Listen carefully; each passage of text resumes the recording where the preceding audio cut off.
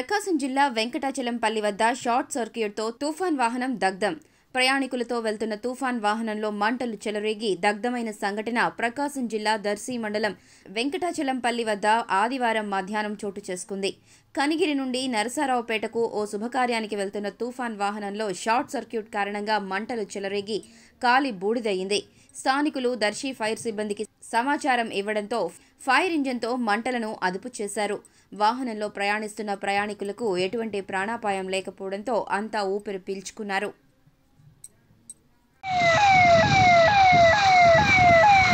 Is it? Is it?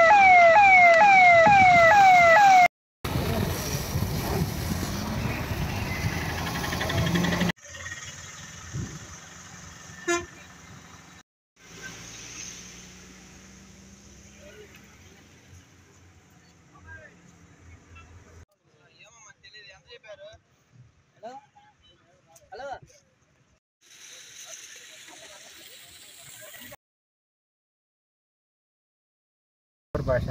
మేము కనిగిరి నుంచి నర్సరాపేటకి ఒక ఫంక్షన్ నిమిత్తం పోతున్నాం. మధ్యలో వెంకటాచలం దర్శి దగ్గర వెంకటాచలం దగ్గర ఊరు వచ్చేటప్పటికి బ్యాలెట్లో పొగలు వచ్చినాయి బండికి.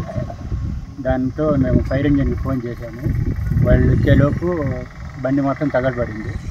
మేమందరము క్షేమంగా ఉన్నాం.